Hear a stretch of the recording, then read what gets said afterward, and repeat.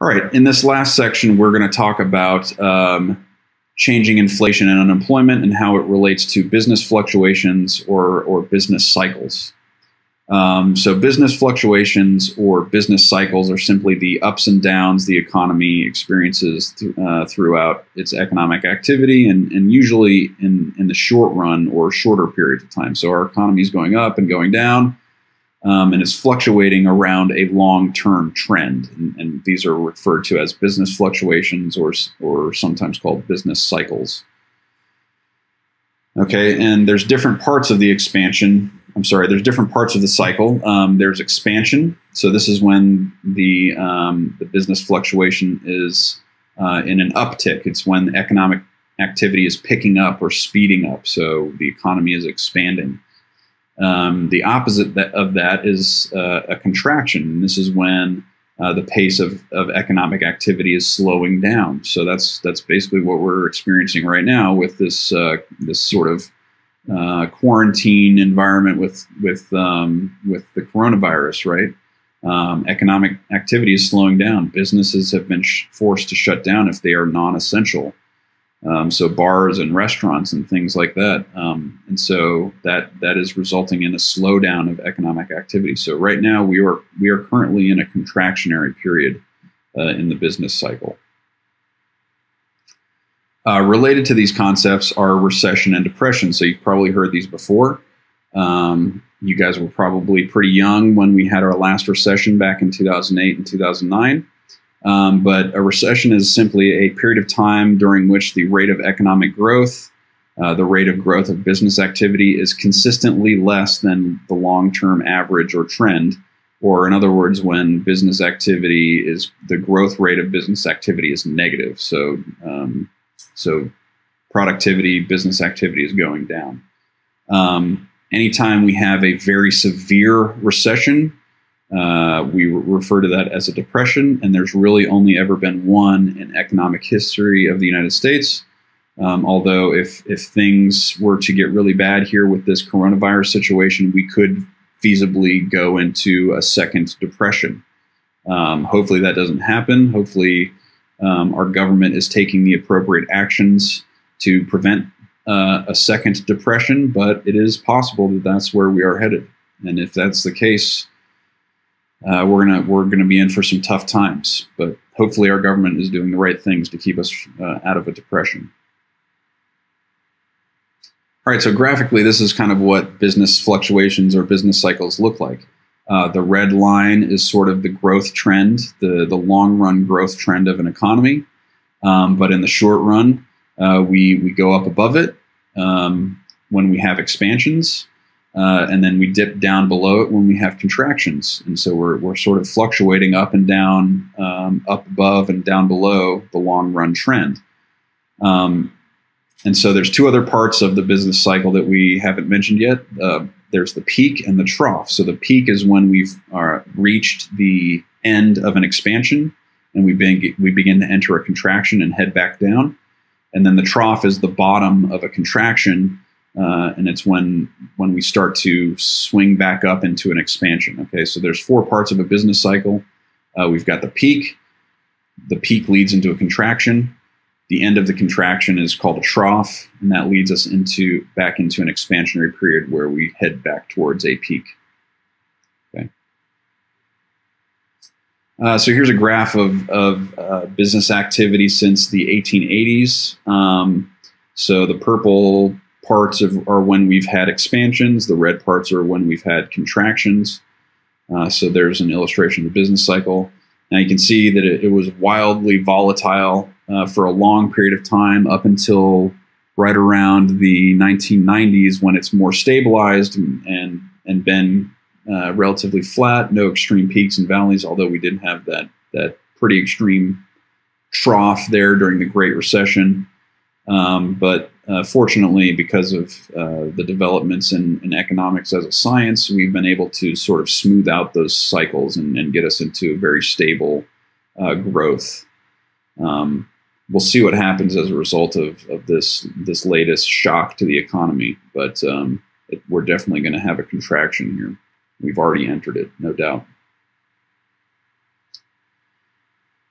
All right. So um, I mentioned this earlier. We talked about the PPI being a leading indicator. So let's make sure we understand what that means. Um, it's basically an event that is is found is found to occur before changes in business activity. So it it sort of tells us where the economy is heading. Okay. So um, so economic downturns often follow reduction in the average work week.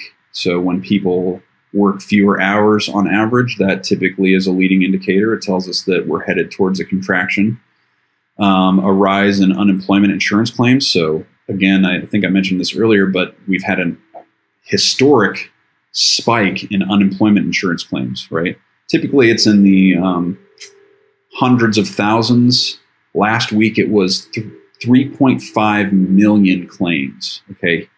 Never ever in the history of the United States, unemployment insurance has that that sort of spike ever been seen. Um, so that's a leading economic indicator telling us that we are very likely headed into contraction. Uh, in fact, we are probably already in the middle of a contraction. Uh, another leading economic indicator is the prices of raw materials. So, if we see a decrease in the price of raw materials, that generally is telling us that we're heading towards a contraction. Um, also, a drop in the quantity of money money circulating. Um, so these are all leading examples of leading economic indicators. Um, some other ones include um, the yield curve, which uh, I'll probably show you at some point, as well as uh, something called a, a, leading economic indicator index. So uh, something that uh, sort of takes all of these different leading economic indicators and combines them into one index um, that's also a leading economic indicator. So, um, so there you go.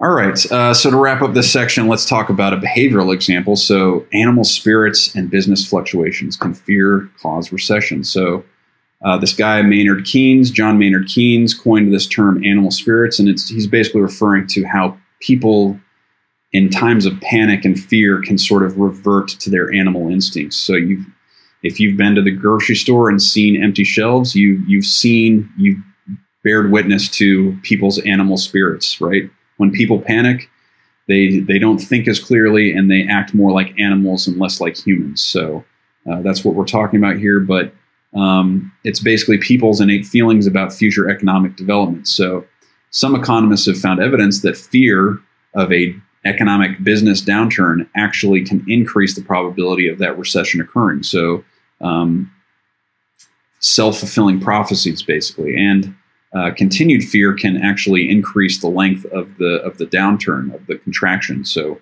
um, pretty interesting stuff. Um, we'll talk more about how later on in the term how this uh, how this can happen.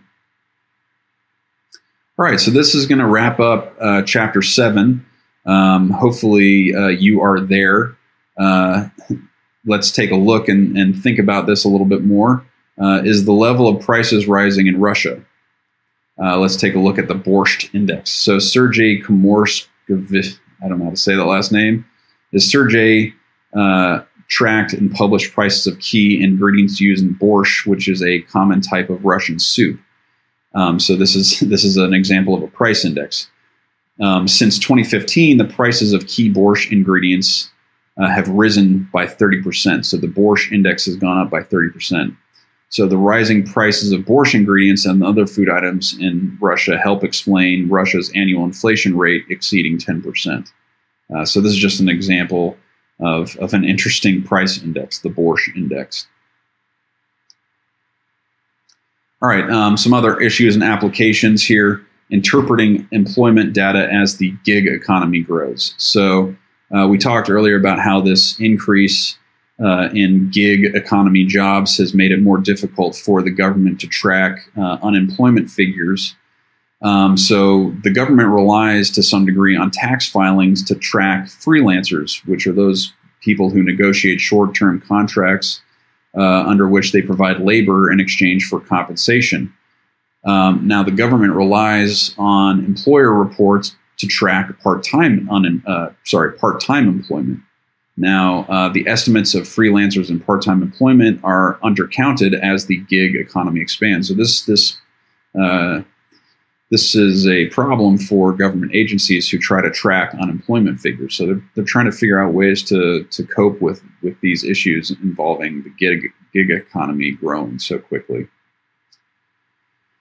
Um, and here's a graph of the percentage of the U.S. Uh, employment that is part-time. So as we can see that uh, since um, the late 1960s, the percentage of people who are working part-time has steadily increased over time. We're now up around 20%. Uh, 20% of those employed work part-time. And this could be multiple part-time jobs to sort of uh, try to get to um, full-time, uh, full-time employment. All right, so that concludes uh, chapter seven. Let's just really quickly uh, summarize what we've what we've learned. So in section one, we talked about how the government calculates the unemployment rate. Um, it uh, it is a the fraction of the labor force that is unemployed. Okay, um, so real quick, just as a numerical example to to illustrate this, um, right? The unemployment rate U is the number of unemployed,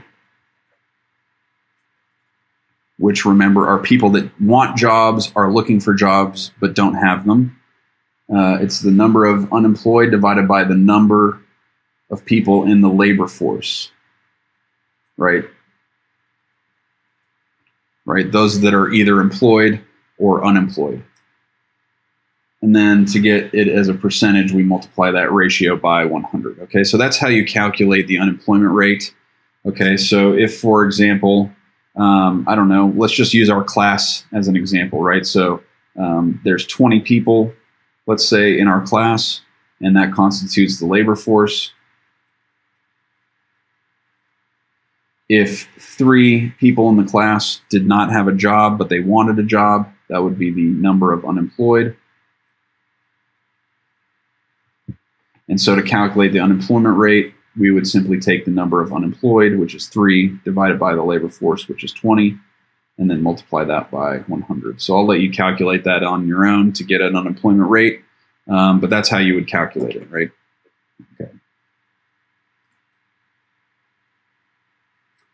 Uh, in section two, we talked about the different types of unemployment, so frictional, structural, and cyclical. So make sure you understand what those different types are.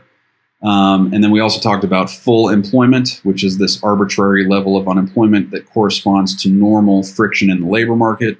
And it also corresponds with the natural rate of unemployment, which is the uh, estimated long run level of unemployment uh, when the economy is in long run macroeconomic equilibrium. Okay. So this is going to be important when we when we move on and, and build our first macroeconomic model, the aggregate demand, aggregate supply model, which we will see soon. Uh, in section three, we talked about different price indexes and how to calculate a price index.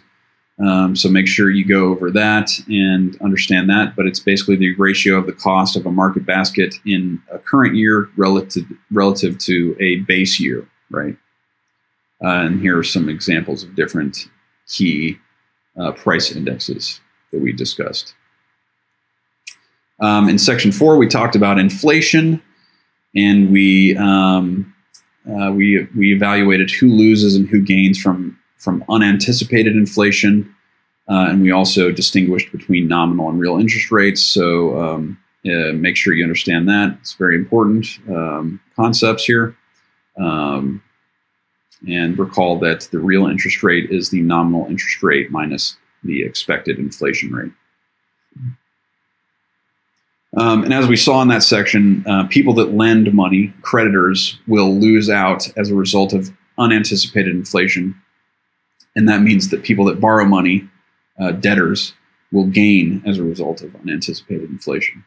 So people that lend money are hurt, and people that borrow money are, are benefited by unanticipated inflation. Now, what this means also is that uh, lenders, creditors are benefited when there's unanticipated deflation and borrowers are hurt when there's unanticipated deflation. So, sort of the opposite when we have un- unanticipated deflation. And in section five, we talked about business cycles, business fluctuations, and the different parts of, of the business cycle. All right, that concludes chapter seven. Um, I will see you soon in the next video lecture. Good luck.